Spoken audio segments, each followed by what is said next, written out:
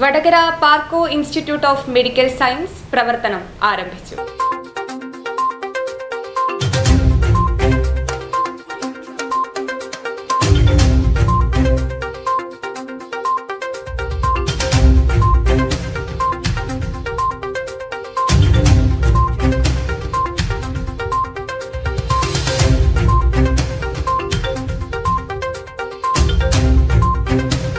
വടകര പ്രദേശവാസികളുടെ കാത്തിരിപ്പിനൊടുവിലും പാർക്കോ കുടുംബത്തിന് അതിലേറെ നാളത്തെ അധ്വാനത്തിനൊടുവിലായി Parco institute of medical science ഭാഗികമായി തുറക്കുകയാണ്.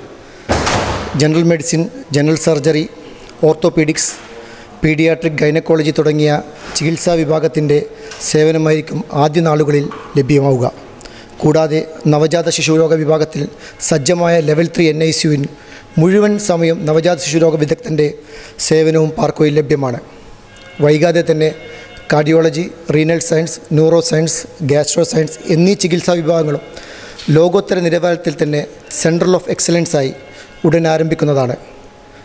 ആഗസ്റ്റ് മാസത്തോടുകൂടി ഇരുപത്തിനാല് ഇന്റു ഏഴ് ട്രാമ കെയർ സെന്റർ ആയി പാർക്കോ ഇൻസ്റ്റിറ്റ്യൂട്ട് ഓഫ് മെഡിക്കൽ സയൻസിനെ മാറ്റിയെടുക്കുക എന്ന മഹത്തായ ഉത്തരവാദിത്തമാണ് ഇനി ഞങ്ങളുടെ മുന്നിലുള്ളത്.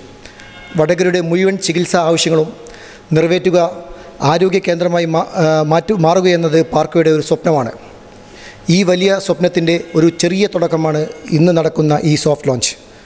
ഈ സോഫ്റ്റ് ലോഞ്ചിലും തുടർന്നും നിങ്ങളുടെ ഓരോരുത്തരുടെയും സഹായവും സഹകരണവും ഉണ്ടാകുമെന്ന് വിനീതമായി അഭ്യർത്ഥിക്കുന്നു.